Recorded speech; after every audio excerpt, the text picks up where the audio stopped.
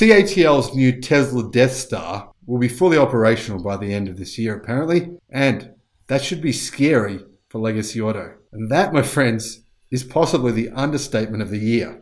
Hello and welcome to the channel. Great to have you here. Welcome back to all our current subscribers and welcome to all of you new subscribers. Great to have you as well. If you are new, make sure you check out some of the thousand videos we've made over the last, I don't know, seven or eight months. There's a lot of good information there about all the new car companies coming to market and what my predictions are over the next decade, which might surprise you. CATL has just broken ground on a 440 million US dollar plant near Tesla Giga Shanghai. Clearly, this is their new Death Star. When I say Death Star, I mean this is going to be a 70 gigawatt hour lithium iron phosphate producing battery plant that I think will also make 4680 battery cells for Tesla. This is basically Tesla's CATL plant. Don't get me wrong, Tesla doesn't own CATL.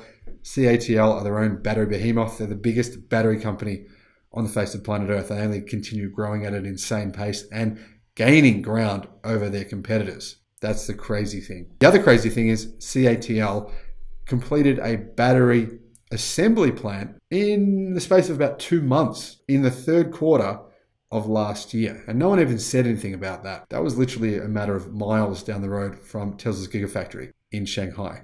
It won't be long, I believe, by the end of this year, by the time that Tesla's Gigafactory in Shanghai becomes the world's largest automotive factory, period. I'm not talking about the world's largest electric car factory, I'm talking largest automotive factory, period.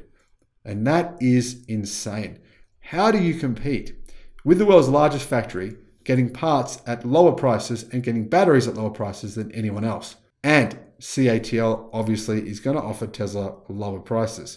Just think of the scale here 70 gigawatt hours of batteries coming from one factory down the road.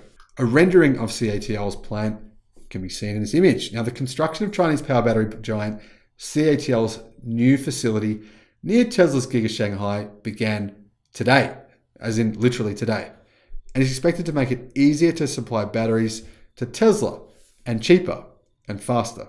Shanghai's Lingang new area where Giga Shanghai is located saw the start of 14 projects in areas including new energy vehicles, biomedicine, and civil aviation on February the 19th, according to a press release from the area's management committee. Now, you can essentially see all these new factories popping up to support Giga Shanghai constantly if you look at these press releases from this area. It's insane. CATL's 440 US million dollar project is among those new facilities. It will have a total floor area of 350,000 square meters.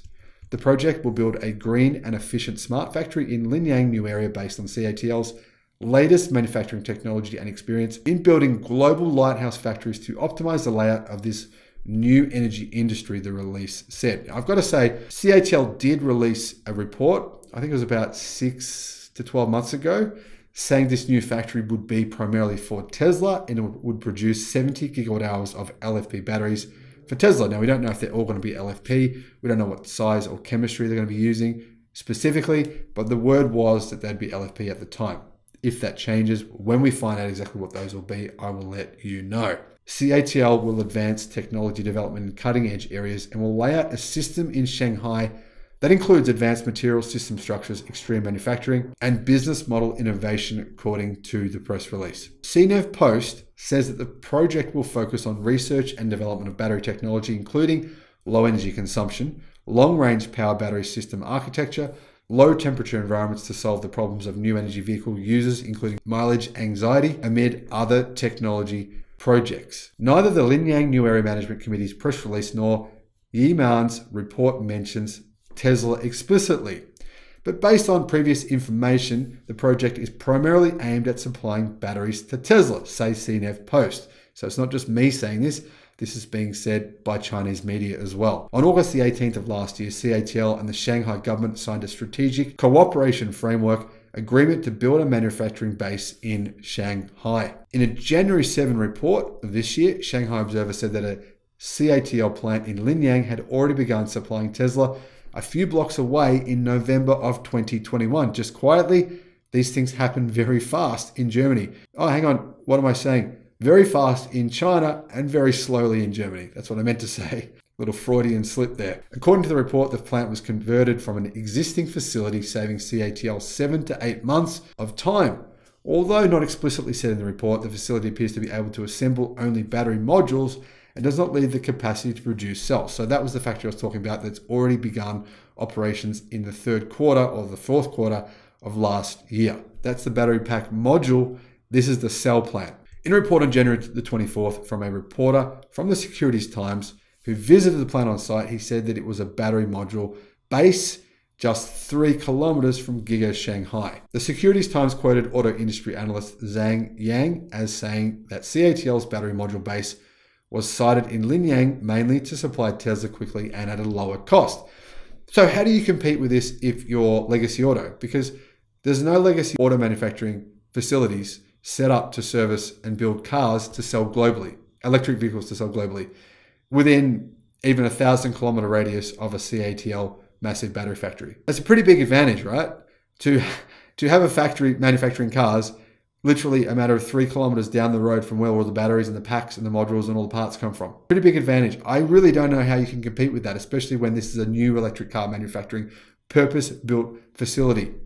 That to me is really a level that can't be competed on unless you're doing the same thing. How else do you compete? I just don't see how else mathematically or logically you can compete based on margins and price.